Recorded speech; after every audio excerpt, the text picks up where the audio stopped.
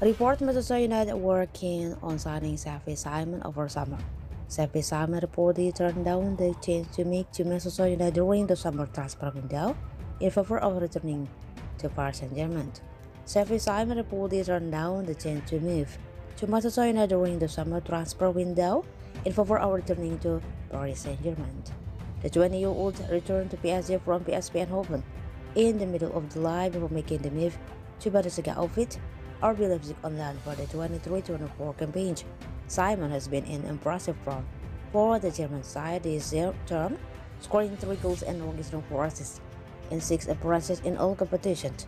The Netherlands international has 3 goals and 4 assists in 4 Bundesliga outings, while he helped Leipzig record a 3-1 victory over Young Boys in Euro Champions League Group D opener.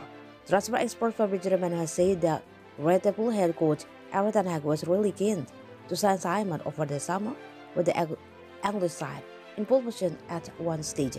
However, PSG ultimately exercised a back with the youngster returning to the French champions.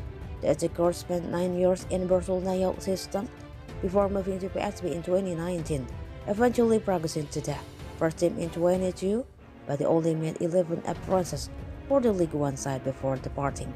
Simon excelled for PSV during the 22-22 campaign, scoring 22 goals and registering 12 assists in 48 appearances, which led to a host of speculation surrounding his future.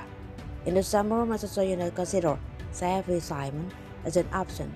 Romano told the United Stand they have some goals. Erik ten Hag was really keen on bringing Xavi Simons to Manchester United, but then Better Trigger to buy a back clause they had in the contract with PSV Eindhoven. But in case the player was going to stay at PSV Eindhoven and had decided against accepting PSV over, Manchester United were well positioned to bring Xavi Simon to Old Trafford this summer.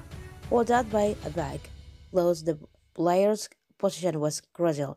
It was Xavi Simon decision to say, It's okay, I'm coming back to PSV, or I'm not coming back.